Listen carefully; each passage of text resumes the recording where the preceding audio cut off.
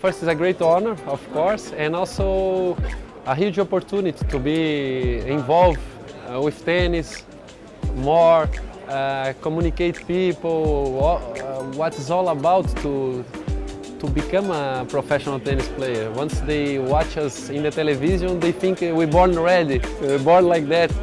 But it's, it's not like, like this. It's uh, all life dedicated on build a champion, build a tennis player, uh, the potential of sports, you know, to get uh, attention of the people around the world. That's many different uh, cultures that love to be watching tennis. So I think it's, uh, uh, for me, a very legitimate way of uh, communicating because I'm a great fan of tennis. I love uh, uh, watching. I'm passionate about what all that happened to my life and I have a lot of appreciation that uh, I, I, am who I am because of tennis too.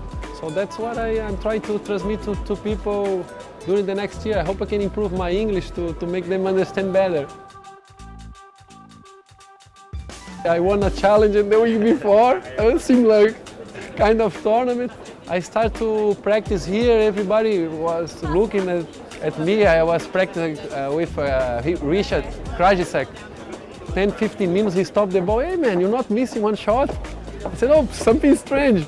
I was practicing with uh, in the central court then. I don't know why he accepted to, to practice with me. I was uh, back there in the rankings. Then we started to, to play some games.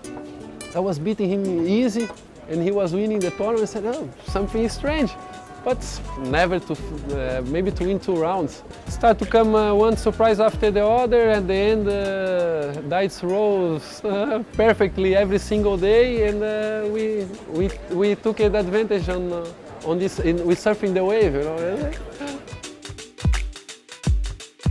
This is how I visualize my approach to, to the games. The scenario and the, the crowd made a huge part and a, and a big impact on my game and I need them to, to be successful and to play well. This match against Michael Russell, that feels like I, I was playing together with uh, 12,000 people in my side. So nobody would beat me on, on that day, even had a match point against, against me. It's rare the, the uh, once you get these uh, feelings on the court. But uh, uh luckily here in, in, in Roland Garros, it happens to me a lot.